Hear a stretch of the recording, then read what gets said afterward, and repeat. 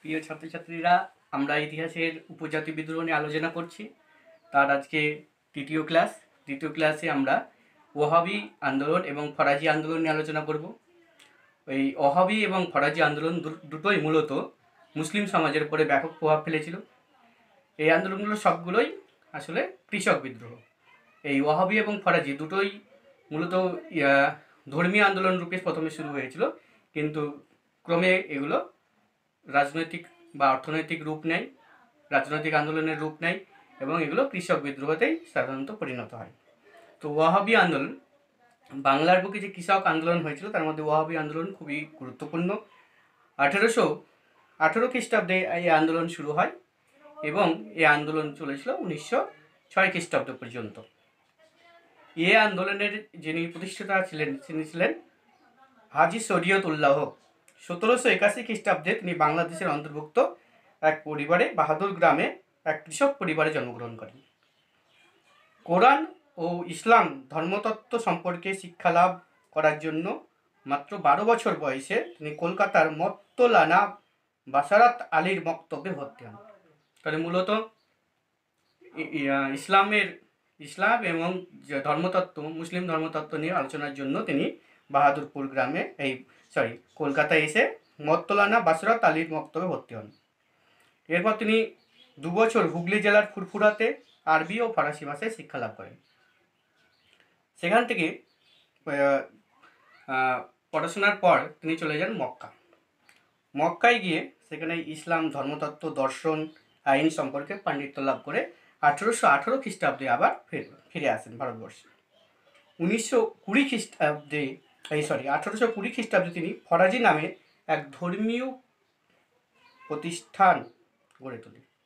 ফরাজি নামে এক ধর্মীয় প্রতিষ্ঠা করে এবং ধর্ম সংস্কারের ভূমিকায় অবতীর্ণ হন। এই যে ফরাজি, আরবি ভাষায় এর অর্থ হলো ইসলাম নির্দিষ্ট বাধ্যতামূলক কর্তব্য। পরীক্ষার জন্য খুব ইম্পর্টেন্ট ফরাজি কথার অর্থ কী?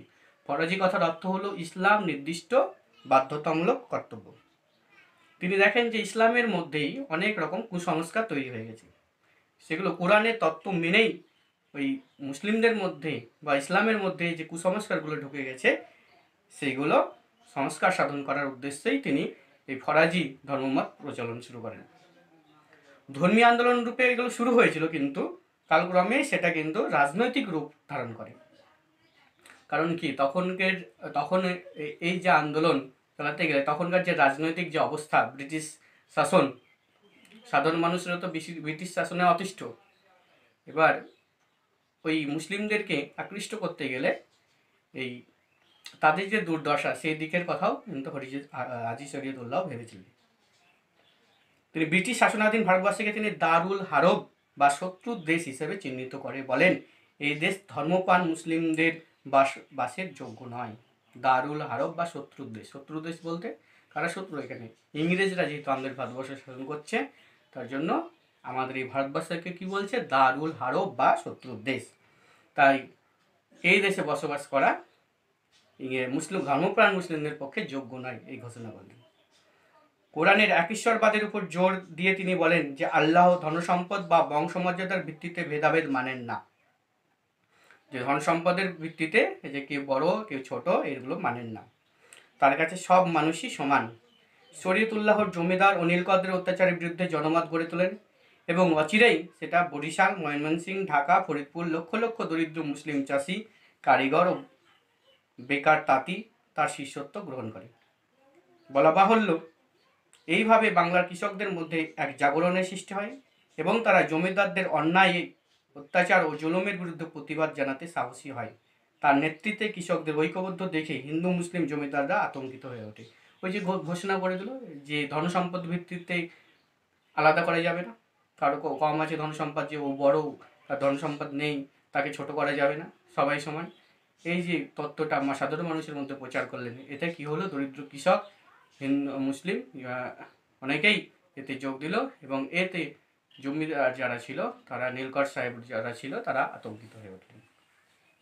আঠারোশো সাঁত্রিশ খ্রিস্টাব্দে শরীদুল্লাহর মৃত্যু হলে তার পুত্র মোহাম্মদ মুসিন, তিনি এই আন্দোলনের দায়িত্বভার ভার গ্রহণ করলেন এবং মোহাম- মোহাম্মদ মুসিনের সময়তেই এই আন্দোলন এক রাজনৈতিক, অর্থনৈতিক আন্দোলনের রূপ নেয়।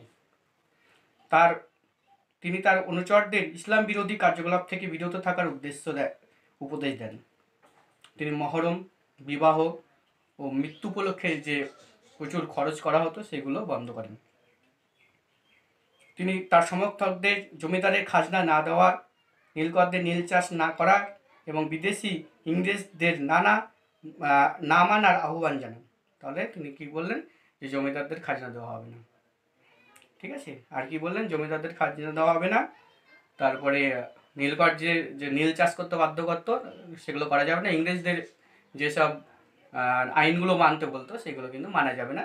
এই পরামর্শ দিলেন কে? মোহাম্মদ মুসিন। মোহাম্মদ মুসিনের ধারণা ছিল যে এই যে জমি হচ্ছে ঈশ্বরের দান। এগুলো সবাই ভোগ করবে। ঠিক আছে? এবং তিনি কি করলেন? বাংলাদেশ মূলত আন্দোলনটা বাংলাদেশে চলছিল। বাংলাদেশকে কয়েকটি হলকা হলকাতে বিভক্ত করলেন হলকা বলতে অঞ্চল। কয়েকটি অঞ্চলে বিভক্ত করলেন এবং প্রতিটি হলকায় তিনশো থেকে পাঁচশো জন ফরাজি থাকবে বলেন যে তিনশো থেকে পাঁচশো জন ফরাজি থাক, বসবাস করবেন এবং প্রত্যেক হলকায় একজন করে খলিফা নিযুক্ত করে দিলেন। এবং খলিফাদের কাজ হলো এই যে ফরাজিদেরকে কি করা? ঐক্যবদ্ধ করা। ঠিক আছে? খলিফাদের দায়িত্ব ছিল নিজ নিজ অঞ্চলে কৃষকদের ঐক্যবদ্ধ করা।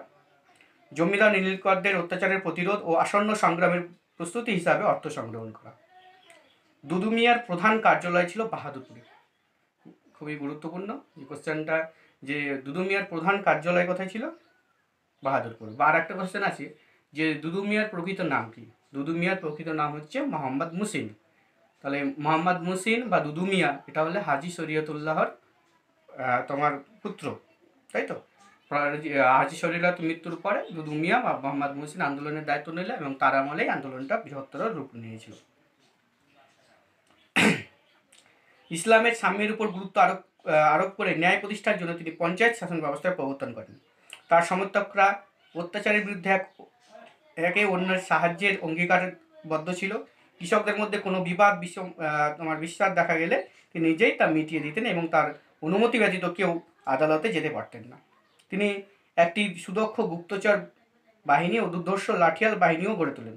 এদের মাধ্যমে বিভিন্ন অঞ্চলে সংবাদ দ্রুত, দ্রু- সংবাদ দ্রুত তার কাছে পৌঁছতো এবং তিনি অত্যাচারের বিরুদ্ধে ব্যবস্থা গ্রহণ করতেন। সমকালীন পুলিশ রিপোর্ট থেকে জানা যায়, আঠারোশো তেতাল্লিশ খ্রিস্টাব্দে তার অনুগামীর সংখ্যা ছিল আশি হাজার এবং তার নির্দেশ, নির্দেশে যে কোনো কাজ করার জন্য প্রস্তুত ছিল। তাহলে তার নেতৃত্ব এত সুগঠিত ছিল এবং সবল ছিল, দৃঢ় ছিল যে তার কথায় যে কেউ যা খুশি মানে যে কেউ তার কথা মেনে চলতো যা বলতো তাই শুনতো। অনুগামীদের নিয়ে তিনি অত্যাচারী জমিদার অনিলকরদের কাছারি ও কুঠিতে আক্রমণ চালাতেন। ঠিক আছে, ক্রমেই আন্দোলন বাখরগঞ্জ, কুমিল্লা, ময়মনসিংহ, খুলনা যশোর দক্ষিণ চব্বিশ পরগনা ব্যাপক অঞ্চলে বিস্তৃত হয়। গোপন সরকারি রিপোর্ট থেকে জানা যায় যে বাংলাদেশের ছয় ভাগের এক ভাগ জুড়ে এই আন্দোলন বিস্তৃত হয়। বাংলাদেশের ছয় ভাগের এক ভাগ জুড়েই এই ফরাজি আন্দোলন বিস্তৃত লাভ করেছিল। আঠারোশো তেতাল্লিশ খ্রিস্টাব্দ থেকে স্পষ্ট হয়ে উঠতে থাকে যে নিচক ধর্মীয় উদ্দেশ্যেই নয়, ব্রিটিশ শাসনের উচ্ছেদ করা করেই মুসলিম শাসনের পুনঃপ্রতিষ্ঠা তাদের উদ্দেশ্য ছিল। তাহলে মূলত ধর্ম সংস্কার করাই নয়, ব্রিটিশ শাসনকে উচ্ছেদ করে। কারণ তার আগেই তার বাবা কি বলে গেছে? যে এই ভারতবর্ষ হলো শত্রুর দেশ। সেখানে ধর্মপ্রাণ মুসলিমরা বসবাস করতে পারে না। সেই জন্য ব্রিটিশদের উচ্ছেদ করা ছিল একটা লক্ষ্য। আঠারোশো একচল্লিশ খ্রিস্টাব্দ থেকে ফরিদপুর জেলার কানাইপুরের জমিদার ও আঠারোশো বিয়াল্লিশ খ্রিস্টাব্দে ফরিদপুরের জমিদার জয়নারায়ণ ঘোষ ও মদন নারায়ণ ঘোষের বিরুদ্ধে অভিযান চালান। এর ফলে কৃষকদের উপর জমিদারদের অত্যাচার হ্রাস পায়। সাধারণ শ্রমজীবী মানুষ কৃষকদের উপর দুমিয়ার প্রভাব বৃদ্ধি পায়। আঠারোশো ছেচল্লিশ খ্রিস্টাব্দে ফরাজিরা ফরিদপুর জেলার পাশ্চরের ডানলেপ ডানলপ সাহেবের নীলকুঠি আক্রমণ করে এবং ভস্মীভূত করে দেয়। তাহলে এই যে নীল চাষি নীল কররা ছিল নীল নীল নীলকরদের বিরুদ্ধে আন্দোলন চালিয়েছিল ডানলপের গোমাস্তা কালীপ্রসাদকে হত্যা করে। সরকার তার বিরুদ্ধে সক্রিয় হয়ে ওঠে এবং তাকে কী করা হয়? গ্রেপ্তার করা হয়। গ্রেপ্তার করে কী করেছিল? কিন্তু সাক্ষী প্রমাণ না পাওয়ায় তাকে ছেড়ে দিতে বাধ্য হয়। এবং তারপরেই সিপাহী বিদ্রোহ শুরু হয়েছিল আঠারোশো সাতান্ন সালে। এবং সিপাহী বিদ্রোহ যখন শুরু হয়, তার আগেও তাকে গ্রেপ্তার করে রাখা হয়, যাতে সিপাহী বিদ্রোহে অংশগ্রহণ না করতে পারে। এবং শেষ পর্যন্ত আঠেরোশো ষাট খ্রিস্টাব্দে তাকে ছেড়ে দেওয়া হয়। কিন্তু ছেড়ে দিলে তার শরীর ভেঙে পড়ে এবং তার কি হয়? তার যে গ্রাম, ওই গ্রামে তার মৃত্যু ঘটে। ঠিক আছে? এ হলো ফরাজি আন্দোলন। তাহলে ফরাজি আন্দোলন মূলত ছিল একটি কৃষক আন্দোলন। জমিদার নীলকরদের বিরুদ্ধে কী হয়েছিল? আন্দোলনটা সংগঠিত হয়েছিল। এবং আর একটা উদ্দেশ্য ছিল ইসলামদের, ইসলামের মধ্যে যে কুসংস্কার আছে, সেগুলোকে দূর করে ইসলামের সংস্কার সাধন করা। নেতৃত্ব নেতৃবৃন্দের রাজনৈতিক শিক্ষার অভাব, হিন্দু বিরোধী মনোভাব, ধর্মীয় সংকীর্ণতা, বলপূর্বক সাধারণ মানুষকে দলভুক্ত করা, অর্থ আদায় করা এবং যথার্থ নেতৃত্বের অভাবে শেষ পর্যন্ত এই আন্দোলন ব্যর্থ হয়। কী হয়েছিল ধর্মীয় সংকীর্ণতা চলে এসেছিল এই আন্দোলনে। কারণ ওরা মুসলিম মুসলিম ছাড়া হিন্দুদের পরে কী চালাতে, অত্যাচার চালাতে শুরু করেছিল। যে যেসব হিন্দু জমিদার আছে তারপরে অত্যাচার, তারপরে বলপূর্বক কিছু মানুষকে তারা দলভুক্ত করেছিল এবং নেতৃত্বের অভাবে শেষ পর্যন্ত কিন্তু এই আন্দোলন ব্যর্থ হয়েছিল। তাহলে আমাদেরকে এই ফরাজি আন্দোলনটা কিন্তু ভালোভাবে তৈরি করতে হবে। তাহলে ফরাজি ফরাজি আন্দোলন বলতে গেলে প্রথমে আমরা শুরু করব যে এটা ছিল মূলত কৃষক আন্দোলন। এই আন্দোলনের যে নেতা ছিল, প্রথমে শুরু করেছিল কে? এই আন্দোলন শুরু করেছে হাজি শরীয়তুল্লাহ। হাজি শরীয়তুল্লাহ কে ছিল? হাজি শরিয়তুল্লাহ উল্লাহ বাংলাদেশের বাহাদুরপুর গ্রামে জন্মগ্রহণ করেছিল এবং সেখানে তিনি সেখান থেকে তিনি ইসলাম, ধর্ম, তত্ত্ব এসব শেখার জন্য, পাণ্ডিত্য অর্জন করার জন্য তিনি কলকাতায় আসেন। কলকাতার একটি মাদ্রাসাতে থাকেন এবং তারপরে তিনি কোথায় যান? মক্কায় যান। মক্কায় গিয়ে কী করে? মক্কায় গিয়ে সেখানে ইসলাম ধর্মের দর্শন, আইন তোমার বিভিন্ন ধরনের ইসলামের যে সঠিক দিকটা অধ্যয়ন করেন এবং সেখান থেকে ফিরে এসে একটি ফরাজি সম্প্রদায় গড়ে তোলেন। এই ফরাজি সম্প্রদায়ের মূল লক্ষ্য ছিল কি? ফরাজির কথার অর্থই ছিল হচ্ছে ইসলাম নির্দিষ্ট বাধ্যতামূলক কর্তব্য। এবং সেখান থেকে ফিরে এসে তিনি ফরাজি আন্দোলন শুরু করেন এবং তিনি বলেন যে, ভারতবর্ষ হলো দারুল হারব অর্থাৎ শত্রুর দেশ। এখানে ধর্মপান মুসলিমদের বসবাসের অযোগ্য। এইভাবে তিনি সাধারণ ফরাজি মানুষদেরকে মুসলিম সমাজকে আকৃষ্ট করতে থাকে। তারপর তার মৃত্যু হলে তার পুত্র মোহাম্মদ মুসিন বা ওরফে দুদু মিয়া এই নেতৃত্বের ভার গ্রহণ করেন। তো নেতৃত্বের ভার গ্রহণ করার পরে এই আন্দোলনটা আরও ব্যাপকভাবে রূপ নেয়। তিনি রাজনৈতিক অর্থনৈতিক এই আন্দোলনটার রাজনৈতিক অর্থনৈতিক রূপ নেয়। তিনি ফরাজি কয়েকটি, বাংলাদেশকে কয়েকটি হলকায় বিভক্ত করেন এবং সেখানে তিনশো থেকে পাঁচশো ফরাজিরা থাকতো। এবং সেখানে একজন করে খলিফা নিযুক্ত করছিল, যাদের কাজ হলো ওদেরকে সংবদ্ধ করা এবং নীলকর এবং জমিদার বিরুদ্ধে অত্যাচারের জন্য যে আন্দোলন সুগঠিত হবে, তার জন্য আবু প্রস্তুতি গ্রহণ করা। এবং তিনি নীলকর এবং জমিদারকে খাজনা, নীল জমিদারকে খাজনা দিতে নিষেধ করতেন এবং বলতেন জমি হচ্ছে ঈশ্বরের দান সবাই সেগুলো ভোগ করবে। খাজনা দেওয়ার খাজনা নেওয়ার অধিকার জমিদার বা নীলকরদের নেই। একমাত্র ঈশ্বর, ঈশ্বরই ওই জমির পরে মালিকা না ভুক্ত করতে পারে। মানে মালিক, ঈশ্বরই হচ্ছে একমাত্র মালিক। এইভাবে আন্দোলন চারিদিকে ছড়িয়ে পড়ে। বিভিন্ন নীলকর ওদের উপর অত্যাচার চালায়, বিভিন্ন জন- জমিদারকে মেরে দেওয়া হয়। শেষ পর্যন্ত ইংরেজরা তাকে কারাবরুদ্ধ করে এবং সেখান থেকে আঠেরোশো ষাট খ্রিস্টাব্দে ছাড়া পেলে তার গ্রামে মৃত্যু হয়। ঠিক আছে? এই হলো ফরাজি আন্দোলন। এবারে ওহাবি আন্দোলন। ফরাজি আন্দোলনের সঙ্গে ওহাবি আন্দোলনের অনেকটা মিল আছে। ওহাবি আন্দোলনটাও মূলত কৃষক আন্দোলন। এটাও ধর্ম সংস্কারের উদ্দেশ্য তৈরি হয়েছিল। ইসলাম ধর্মের যে মধ্যে কুসংস্কার তৈরি হয়েছিল, কিন্তু অচিরেই সেটা আবার কৃষক আন্দোলন বা রাজনৈতিক আন্দোলনের রূপ নিয়েছিল। এই আন্দোলনের যিনি নেতা ছিলেন, সেটা হচ্ছে আব্দুল অহব মোহাম্মদ বিন আব্দুল অহব এই ওহাবি আন্দোলনের প্রকৃত নাম হচ্ছে তারিক ই মোহাম্মদিয়া। তারিক ই মোহাম্মদিয়া, অর্থাৎ মোহাম্মদ প্রদর্শিত পথ। অষ্টদশ শতকের মোহাম্মদ বিন আব্দুল অহব ওহব নামে এক জৈন ব্যক্তি আরব দেশে ইসলাম ধর্মের অভ্যন্তরে এক সংস্কার আন্দোলন শুরু করেন এবং এই ধর্মের ধর্মের মধ্যে প্রচলিত কুসংস্কৃতি দূর করে মুহাম্মদ প্রদর্শিত পথে ইসলাম ধর্মকে নতুনভাবে গড়ে তুলতে প্রয়াসী হন। তাহলে বিন আব্দুল ওহাব কোথায় আন্দোলনটা শুরু করেছিল? আরব দেশে। ঠিক আছে? এবং তার প্রবর্তিত যে ধর্ম সম্প্রদায় সেটা ওহাবি এবং তার প্রচারিত ধর্মমত ওহাবিবাদ নামে পরিচিত। ওহাবি কথার অর্থ হলো নবজাগরণ। কথার অর্থ হলো নবজাগরণ। ভারতে এই আন্দোলনের সূচনা হয় ঊনবিংশ শতাব্দীর প্রথম ভাগে। ইসলাম, ধর্ম ও সমাজকে সকল কুলসিতা থেকে মুক্ত করে কোরআনের যথার্থ নির্দেশ অনুযায়ী ধর্ম ও সমাজকে গড়ে তোলার উদ্দেশ্যে দিল্লির বিখ্যাত মুসলিম সন্ত শাহ ওয়ালি উল্লাহ ও তার পুত্র আজিজ এই সংস্কার আন্দোলন শুরু করেন। তাহলে এই জায়গাটায় ভারতবর্ষে ওহাবি আন্দোলনটা শুরু করছে ওয়ালি উল্লাহ এবং আমরা বিন আব্দুল ওহাব কোথায় শুরু করছে? আরবে শুরু করছে। এই দুটো জায়গা কিন্তু মনে রাখতে হবে।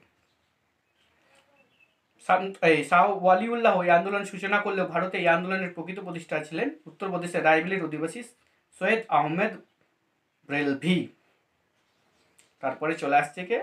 ওয়ালিউল্লাহ ভারতবর্ষে শুরু করল, কিন্তু প্রকৃত প্রতিষ্ঠাতা যিনি ছিলেন সেটা হচ্ছে সৈয়দ আহমেদ। নাম শুনেছেন নিশ্চয় সৈয়দ আহমেদ, স্যার সৈয়দ আহমেদ। তিনি দিল্লিতে শাহ ওয়ালিউল্লাহের পুত্র আজিজের সংস্পর্শে আসেন এবং আঠারোশো কুড়ি থেকে আঠারোশো একুশ খ্রিস্টাব্দ থেকে তিনি থেকে তিনি ইসলাম ধর্মের শুদ্ধিকরণ এর কথা প্রচার করতে শুরু করেন। তাহলে ওই পুত্র আজিজ, ওয়ালিউল্লাহের পুত্র যে আজিজ ছিল, তার সংস্পর্শে এসেছিল এবং তার দ্বারাই অনুপ্রেরিত হয়ে তিনি ইসলামী শুদ্ধিকরণের প্রচার শুরু করেন শুরু করেন। কে? Sir sorry Syed Ahmed. আঠেরোশো বাইশ খ্রিস্টাব্দে ভারতে ফিরে এসে তিনি ওহাবি আদর্শে ভারতে শুদ্ধি আন্দোলন শুরু করেন। আধুনিক ঐতিহাসিকরা বলেন যে আরবে ওয়াহাবি আন্দোলনের সঙ্গে সৈয়দ আহমেদের কোনো সম্পর্ক ছিল না। আরবের যে ওয়াহাবি আন্দোলন তার সঙ্গে সৈয়দ আহমদের আহ, সৈয়দ আহমেদের যে ওয়াহাবি তার কোনো সম্পর্ক ছিল না। অনেক ঐতিহাসিক এটা মনে করেন। এবং ভারতে ওয়াহাবি আন্দোলনের মূল নীতিগুলির উদ্ভাবক উদ্ভাবক ছিলেন তিনি নিজেই। তাহলে ভারতবর্ষের যে ওহাবি আন্দোলনটা তিনি শুরু করেছিলেন তার সঙ্গে আরবের ওহাবি আন্দোলনের কোনো মিল ছিল না। এখানে কি কি পালন করা হবে? তার নীতি তিনি নিজেই গ্রহণ করেছিলেন। আঠারোশো বাইশ খ্রিস্টাব্দে মক্কা থেকে ফিরে এসে তিনি কিছুকাল পাটনায় অবস্থান করেন। তার ধর্মমতে আকৃষ্ট হয়ে বহু মুসলমান শিষ্যত্ব গ্রহণ করে। অনুগামীদের সংখ্যা বৃদ্ধি পাওয়ার পাওয়ার তিনি একটি সংগঠন গড়ে তোলেন এবং চারজন খলিফা নিযুক্ত করেন। তার কাজ ছিল দেশের বিভিন্ন অঞ্চলে ভ্রমণ করে অনুগামী ও অর্থ রসদ সংগ্রহ করা। তাহলে এই সৈয়দ আহমেদের কাজ ছিল বিভিন্ন ভারতবর্ষের বিভিন্ন জায়গায় ঘুরে অর্থ সংগ্রহ করা এবং জন তোমার অনুগামীদের একত্রিত করা। অতঃপর তিনি বিভিন্ন অঞ্চলে ভ্রমণ করতে শুরু করলে তার অনুগামীরাও সংখ্যা যথেষ্ট পরিমাণে বৃদ্ধি পায়। এই সময় তার ধর্ম সংস্কার আন্দোলন ধীরে ধীরে রাজনৈতিক রূপ ধারণ করে। ফরাজি আন্দোলনের নেতা শরীয়তুল্লাহর মতোই তিনি ইংরেজ অধিকৃত ভারতকে দারুল হারব বা শত্রুর দেশ মনে করেন। এই যে হাজি শরীয়তুল্লাহ ভারতবর্ষকে দারুল হারব বা শত্রুর দেশ মনে করতো। সৈয়দ আহমেদও ভারতবর্ষকে দারুল হারব বা শত্রুর দেশ বলে মনে করত। তাহলে বুঝতে পারছি, দুটোর সঙ্গে কিন্তু মিল আছে, দুটো আন্দোলনের সঙ্গে। ঠিক আছে? ইংরেজ বণিকদের তিনি ভারতীয় স্বাধীনতার প্রধান শত্রু হিসেবে চিহ্নিত করেন এবং তাদের বিতাড়িত করার নির্দেশ দেন। এর উদ্দেশ্যে তিনি বিভিন্ন ভারতীয় ও বিদেশি রাজন্যগণকে সাহায্য প্রার্থনা করেন। এই যে ভারত, ইংরেজদেরকে তাড়াতে, তাড়ানোর জন্য তিনি বিভিন্ন রাজন্যবর্গ ভারতবর্ষের যে বিভিন্ন রাজা ছিল, তাদের সঙ্গে সাহায্য প্রার্থনা করেন মারাঠা নায়ক হিন্দু রায়কে লিখিত এক পত্রেও তিনি অনুরূপ আবেদন জানান। বিভিন্ন প্রচার পুস্তিকা মারফত ভারতীয় মুসলমানদের তিনি ঐক্যবদ্ধ ও সংগ্রামের আহ্বান জানান। আসন্ন ধর্মযুদ্ধের প্রস্তুতি হিসাবে তিনি এক সেনাদল গড়ে তোলেন এবং তাদের আধুনিক ইউরোপীয় পদ্ধতিতে প্রশিক্ষণ দানের ব্যবস্থা করা হয় তাদেরকে। তাহলে তিনি একটি সেনাবাহিনীও গঠন করেছিলেন এবং সেখানে আধুনিকভাবে আধুনিকভাবে যুদ্ধ করার প্রশিক্ষণ দিতেন। হিজরত আদর্শ অনুযায়ী বিধর্মী ইংরেজ শাসিত ভারত ত্যাগ করে তিনি তার অনুগামী উত্তর পশ্চিম সীমান্ত প্রদেশে আফগানিস্তানে আশ্রয় নেন। তাহলে যেহেতু এখানে ভারত ইংরেজরা শাসন করছে, তাহলে এইখানে থাকা যাবে না। বিধর্মী ইংরেজদের থেকে তিনি উত্তর পশ্চিম সীমান্ত বা আফগানিস্তানে আশ্রয় নিয়েছিলেন। তিনি উত্তর পশ্চিম সীমান্তে সীতানাই মূল কেন্দ্র স্থাপন করেন এবং পাঠান উপজাতিদের সাহায্য নিয়ে তিনি তার শক্তি সুসংহ হতে থাকেন। তাহলে এই কোথায় আশ্রয় নিয়েছিল? সীতানাই। সৈয়দ আহমেদ সীতানায় তার মূল কেন্দ্র গড়ে তুলেছিল এবং সেখানে পাঠানদের সাহায্য নিয়ে তার শক্তিকে আরও বলবৎ করতে চেয়েছিল। মূলত ইংরেজ বিরোধী আন্দোলন হলেও ওয়াহাবি পাঞ্জাবের শিখদের সঙ্গে বিরোধে জড়িয়ে পড়েন। এটা ইংরেজ বিরোধী শুরু হলো, ইংরেজদের সঙ্গে এরা বিরোধে জড়িয়ে পড়েছিলেন। শহীদ আহমেদ শিখদের ইসলামের শত্রু বলে মনে করতেন। এছাড়া এই সময় পাঞ্জাব শাসক ও জমিদাররা মুসলিম প্রজাদের উপর বেশ নির্যাতন শুরু করেন। এই কারণে সোহেম সৈয়দ আহমেদ শিখদের বিরুদ্ধে যুদ্ধযাত্রা করেন আঠারোশো সাতাশ খ্রিস্টাব্দে। দীর্ঘ চার বছর যুদ্ধ চলার পর সামান্যকালের জন্য ওহাবিরা পেশোয়ার দ্বারা দখল করেন। পরের বছর শিখদের বিরুদ্ধে বালাকোটের যুদ্ধে তিনি পরাজিত ও হন এবং প্রাণ হারান। তাহলে এই জায়গাটা কোশ্চেন আছে যে সৈয়দ আহমেদ কোন যুদ্ধে মারা যান? তাহলে কি কোন যুদ্ধে? বালাকোটের যুদ্ধ, বালাকোটের যুদ্ধে, আঠারোশো একত্রিশ খ্রিস্টাব্দে। শিখদের বিরুদ্ধে যুদ্ধ করেছিল আঠারোশো একত্রিশ খ্রিস্টাব্দে বালাকোটের যুদ্ধে পরাজিত হন। সৈয়দ আহমেদের এই যুদ্ধে মৃত্যু হলে উত্তর পশ্চিম সীমান্ত, পাঞ্জাব, বাংলা, বিহার, মিরাট, হায়দ্রাবাদ, অন্যান্য অঞ্চলে ওহাবি বিদ্রোহ ব্যাপক রূপ ধারণ করে। ইংরেজ পাঞ্জাব জয়ের, ইংরেজদের পাঞ্জাব জয়ের পর ওহাবিদের সঙ্গে তাদের দীর্ঘস্থায়ী সংগ্রামের সূচনা হয়। ভারতের বিভিন্ন অঞ্চল থেকে ওহাবি ধর্মযোদ্ধারা প্রচুর অর্থ অস্ত্র নিয়ে মুলতানে সমবেত হন। ইয়ে হলো। ঠিক আছে? এবার এই আন্দোলনে সৈয়দ আহমেদের মৃত্যুর পর এই আন্দোলনের যে দায়িত্বভার গ্রহণ করেছিল সেটা হচ্ছে তিতুমির বাংলাদেশে ওয়াবি আন্দোলনের প্রধান নেতা ছিলেন মীর নিসার আলী বা তিতুমির তিতুমিরের আসল নাম ছিল মীর নিসার আলী। তিনি চব্বিশ পরগনার বাদুড়িয়া থানার অন্তর্ভুক্ত হায়দারপুর গ্রামে জন্মগ্রহণ করেন। তাহলে জন্মগ্রহণ করেছিল বাদুড়িয়া থানার হায়দারপুর গ্রামে। উনচল্লিশ বছর বয়সে মক্কায় হজ করতে গিয়ে সৈয়দ আহমেদ, আহমেদের সঙ্গে পরিচিত হন এবং ওহাবি আদর্শ গ্রহণ করেন। তাহলে মক্কায় হজ করতে গিয়ে ওখানে আহমেদের সঙ্গে, সৈয়দ আহমেদের সঙ্গে পরিচয় হয়েছিল এবং তার আদর্শ গ্রহণ করেছিল। অসাধারণ সংগঠন শক্তির অধিকারী তিতুমির সুদখোর মহাজন ও নীলকর জমিদারদের হাতে নির্যাতিত নির্যাতিত দরিদ্র মুসলিম মুসলিমদের নিয়ে এক বিরাট সংগঠন গড়ে তোলেন। নির্যাতিত বহু হিন্দু তার সংগঠনে যোগ দিয়েছিলেন। তাহলে এও একটা সংগঠন গড়ে তুলেছিল তিতুমির বা মিন্নিসার আলী। চব্বিশ পরগনা, নদিয়া, যশোর, রাজশাহী, ঢাকা, মালদহ প্রভৃতি স্থানে তিনি তীব্র আন্দোলন শুরু করেন। তার আন্দোলনে হিন্দু, মুসলমান, উভয় সম্প্রদায়ের জমিদার, নীলকর সাহেবরা আতঙ্কিত হয়ে ওঠেন। তার যে আন্দোলন, তার আন্দোলনে জমিদার, নীলকররা কিন্তু আতঙ্কিত হয়ে উঠেছিল। তারা একযোগে ওহাবিবাদের উপর নানা রকম অত্যাচার করতে থাকে। পুরার জমিদার কৃষ্ণদেব রায়ের অত্যাচার সকলকে ছাড়িয়ে যায়। তিতুমির শিষ্যদের দাড়ি রাখতে হতো। তিতুমির কিছু আইন ঘোষণা করেছিল যে তার যে শিষ্যত্ব গ্রহণ করবে, তাদেরকে কি করতে হবে? শিষ্যদের দাড়ি রাখতে হবে। তিনি ঘোষণা করেন, যারা তিতুমিরের শিষ্যত্ব গ্রহণ করবে, ওহাবি হবে, ও দাড়ি রাখবে। ওহাবি হবে, ও দাড়ি রাখবে। তাদের জরিমানা জরিমানা দিতে হবে। শিষ্যদের দাড়ি রাখতে হতো। তিনি ঘোষণা করেন, যারা তিতুর শিষ্যত্ব গ্রহণ করে, ওহাবি হবে।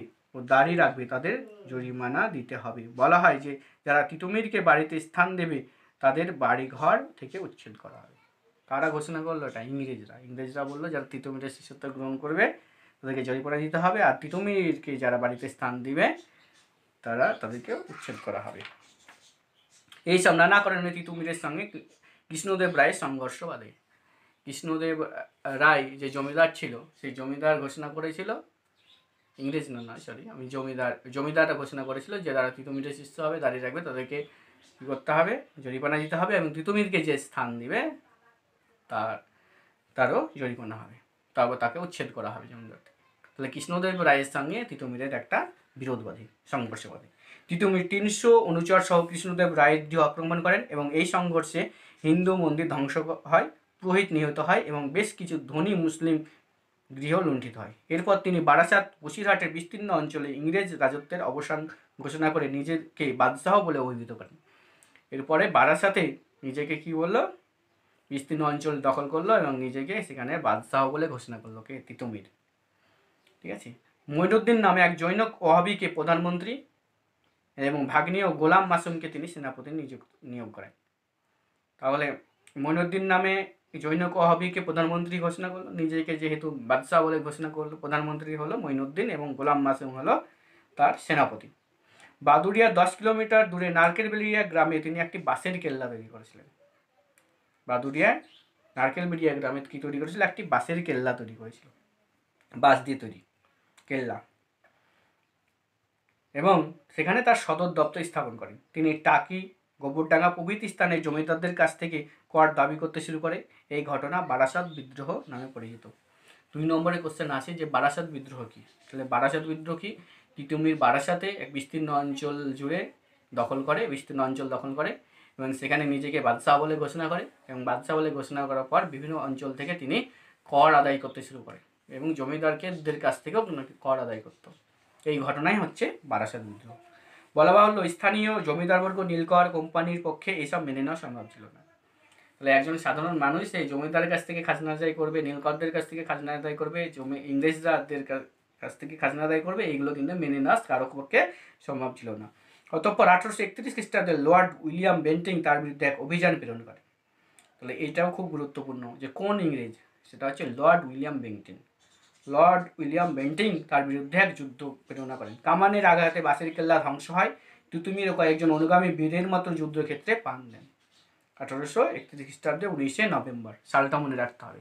আঠারোশো একত্রিশ খ্রিস্টাব্দে বাসের কেল্লা আক্রমণ করেছিল, লর্ড উইলিয়াম বেন্টিং। বন্দি সৈন্যদের ফাঁসি হয় এবং অনেক দীর্ঘমেয়াদী কারাদণ্ড ভোগায়। ওহাবি আন্দোলন প্রকৃত চরিত্র প্রকৃতি বা চরিত্র ঐতিহাসিক এ হলো আমাদের ওয়াহাবি আন্দোলন। তো এর চরিত্র কি? ওয়াহাবি আন্দোলনের চরিত্র, চরিত্রটা হচ্ছে কি? মূলত বিভিন্ন ঐতিহাসিক বিভিন্ন মতামতদের ডক্টর কুইমুদ্দিন আহমেদের মতে, এই আন্দোলন হিন্দু মুসলিম একত্রে অংশগ্রহণ করে এবং সাম্প্রদায়িকতার কোনো ভূমিকা ছিল না। এই আন্দোলন ছিল ভারতীয় স্বাধীনতা সংগ্রামের অঙ্গ এবং আন্দোলনকারীদের লক্ষ্য ছিল ভারত থেকে ব্রিটিশ শক্তির বিতরণ। উইলিয়াম হান্টার বলেন যে এই আন্দোলন ছিল নিপীড়িত কৃষক শ্রেণির স্বার্থে পরিচালিত লাল প্রজাতন্ত্রী আন্দোলন। ডক্টর রমেশচন্দ্র মজুমদারের মতে, বহু হিন্দু এই আন্দোলনের সমর্থক হলেও তা কখনো জাতীয় আন্দোলন ছিল না। এই আন্দোলন সাম্প্রদায়িকতা মুক্তও ছিল না। তাহলে সাম্প্রদায়িকতা মুক্ত একদম কিন্তু ছিল না। হিন্দু, মুসলিমদের মধ্যে সমান অধিকারের লক্ষ্য নিয়েও এই আন্দোলন গড়ে ওঠেনি। বিদ্রোহীদের লক্ষ্য ছিল ইংরেজ শাসনের স্থলে মুসলিম শাসন শাসন প্রতিষ্ঠা করা। এটা রমেশচন্দ্র মজুমদার বলছেন ঠিক আছে? এই হলো ওয়াহাবি আন্দোলন। তাহলে আমরা দুটো আন্দোলন একটু তুলনা করে দেখতে পাই। যে দুটোই ছিল আসলে মুসলিম ধর্ম সংস্কারের মুসলিমদের যে ইসলাম ধর্ম ছিল, ইসলাম ধর্মে সংস্কার সাধন। কিন্তু আস্তে আস্তে সেটা রাজনৈতিক, অর্থনৈতিক এবং কৃষক আন্দোলনের রূপ নেয়। আমাদেরকে মনে রাখতে হবে আন্দোলনের কারণ এবং নেতাগুলো। নেতাগুলো হচ্ছে তোমার ওয়াহাবি আন্দোলনের যে নেতা। এখানে উল্টো পাল্টের জন্য না হয়ে যায়। ওয়াহাবি আন্দোলনের নেতা ছিল কি?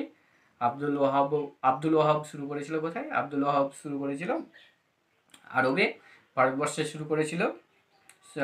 ওয়ালিউল্লাহ এবং যে মূল প্রকৃত প্রতিষ্ঠা ছিল সৈয়দ আহমেদ এবং এদিকে বারাসাতে বা বাংলাদেশে শুরু করেছিল, বাংলাদেশের নেতা ছিল মিন্নিসার আলী। মিন্নিসার আলীর প্রকৃত প্রকৃত তিতুমিরের যে প্রকৃত নাম ছিল মিন্নিসার আলী। এবং মিন্নিসার আলীর বীরত্বটা আমাদেরকে কিন্তু ভালো করে পড়তে হবে। এবং বারাসাত বিদ্রোহ কী? ঠিক আছে? বিদ্রোহ কীভাবে দমন করা হয়েছিল এগুলো আমাদেরকে আলোচনা করতে পড়তে হবে।